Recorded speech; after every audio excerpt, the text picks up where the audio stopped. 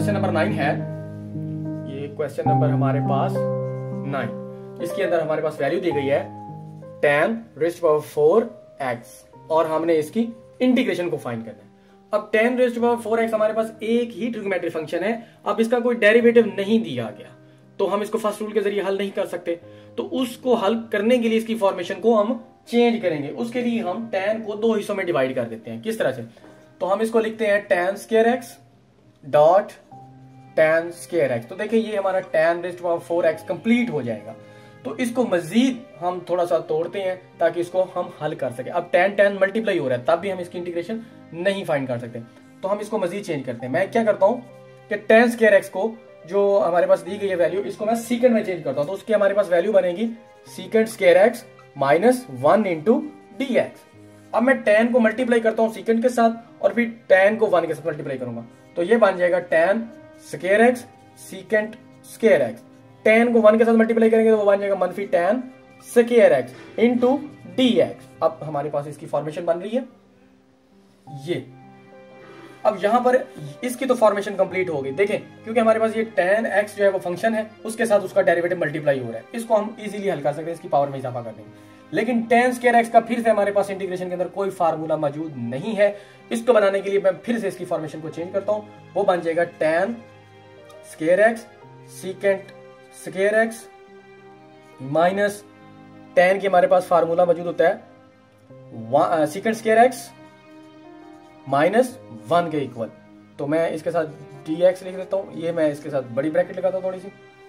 अब आप इसकी इंटीग्रेशन को अलग अलग लिख से टेन स्केयर एक्स अब यहाँ पे आप देखें टेन टेन का डेरिवेटिव होता है सीकेंड स्केयर एक्स तो हमारे पास मौजूद है तो इसको हम लिख सकते हैं tan cube x over cube plus या माइनस अब ये हम हमारे पास अलामत है माइनस की तो हम माइनस को लिखेंगे. जब हम सेकंड स्केयर की, मैं इधर एक दफ़ा फिर से एक फार्मूले के मुताबिक लिख देता हूँ. यहाँ पे मैं लिख देता हूँ secant square x d x की इंटीग्रेशन ये माइनस जब इसके साथ मल्टीप्लाई की तो इसको कर देगी प्लस में change integration one d x अब सीकेंट की हमारे पास क्या आएगा? सीकेंट स्केयर की हमारे पास इंटीग्रेशन होती है टेन एक्स तो आपके पास ये फार्मूला कुछ यूँ बन जाएगा। मैं इसको लिखता हूँ. Tan cube x over cube minus secant का हमारे पास फार्मूला आपको पता है, मालूम है, वो होता है हमारे पास टेन एक्स के बराबर। तो हम इसको डायरेक्ट टेन एक्स लिखते हैं। यहाँ पर आप देखें सीकेंड स्केयर एक्स की हमें इंटीग्रेशन कहा गया है? सीकेंड स्केयर एक्स की इंटीग्रेशन का डायरेक्ट फार्मूला मौजूद है, वो बराबर होते हैं टेन एक्स के। और प्लस में हमें दिया गया वन की इंटीग्रेशन वन के कांस्टेंट और कांस्टेंट वन की इंटीग्रेशन वो एक्स होती है। प्लस हम फॉर्मेलिटी पूरी करने के लिए सी लिखेंगे, क्योंकि कोई हो सकता है कि कांस्टेंट था, जिसकी वैल्यू ज़ीरो कर दी गई और इंटीग्रेशन करने के बाद वो यहाँ पर मौजूद होगा तो ये था हमारा ये क्वेश्चन नंबर नाइन इसको हमने इस तरह से सॉल्व किया मैं नेक्स्ट क्वेश्चन की जानिब चलता हूँ। नेक्स्ट क्वेश्चन है हमारे पास 15 15 क्वेश्चन के अंदर हमारे पास दो वैल्यूज़ दी गई हैं ब्रैकेट्स के अंदर। मैं उनको लिखता हूँ, फिर हम उसको सॉल्व करते हैं।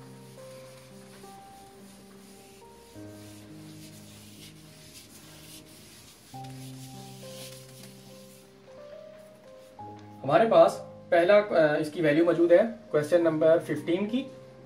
रूल नंबर वन में क्वेश्चन नंबर 15 इसके अंदर हमारे पास वैल्यू मौजूद है। Integration sine x cos x sine x plus cos x raise to power n और साथ में दिया हुआ है cos square x minus sine square x cos square x minus sine square x into d x हमें इसकी integration को find करना है बाय फ़र्स्ट रूल अब देखें। कि दो वैल्यूज़ जो आपस में मल्टीप्लाई हो रही हैं, लेकिन पहले फ़ंक्शन और दूसरा उसका डेरिवेटिव नहीं बन रहा। उसको बनाने के लिए हम इसकी फॉर्मेशन को चेंज करेंगे। वो किस तरह से चेंज करते हैं, देखें। यहाँ पर साइन एक्स है प्लस कॉज एक्स है, इसकी पावर एन दी हुई एन इंटीजर अब यहाँ से हम इसकी, ये फार्मूला बना देंगे ए की दो माइनस बी की दो। तो ये फार्मूला बराबर होता है a plus b into a minus b तो आपने इसकी फॉर्मेशन इसमें चेंज करनी है, इसमें तब्दील करनी है। तो आप इसको लिख सकते हैं। Cos x plus sine x cos x minus sine x into d x ये हमारे पास फॉर्मेशन आ रही है। अब आप ये वाली पहले रखें, क्योंकि हमें मालूम है कि ये हमारे पास एक फ़ंक्शन है। या यूँ देखें कि ये हमारे पास बन रहा है a plus b raise to power n और ये हमारे पास बन रहा है ए प्लस बी अब ये दोनों की बेस जो है वो सेम आ रही है। जब दोनों की बेस सेम हो तो वो पावरें आपस में, इनकी पावर जो है वो जमा हो जाएँगी। इसकी पावर एक है, उसकी एन है। तो वो क्या बन जाएगी?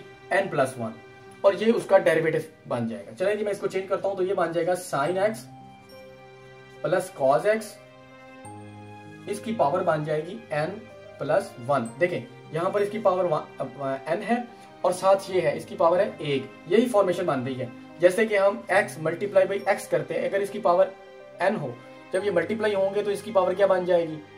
X raised power n plus one बिल्कुल सेम यही रूल्स है इसके अंदर यूज़ किया मैंने।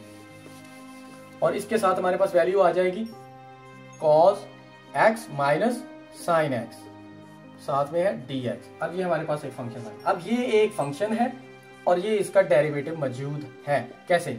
साइन एक्स का डेरिवेटिव क्या होता है?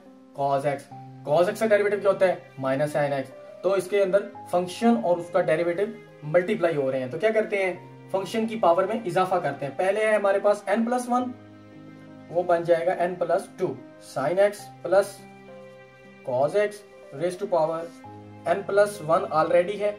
हम खुद अपनी तरफ़ से इजाफा कर रहे हैं वन का और डिवाइड भी उसी पे करेंगे। तो n plus one plus one तो प्लस में हम सी लिखेंगे। अब ये बन जाएगा एन प्लस टू तो आप इसको लिखेंगे sine x plus cos x raise to power n plus two divided by n plus two plus c is equal to zero इस तरह से हमारा रूल नंबर वन जो है वो कंप्लीट हो जाता है।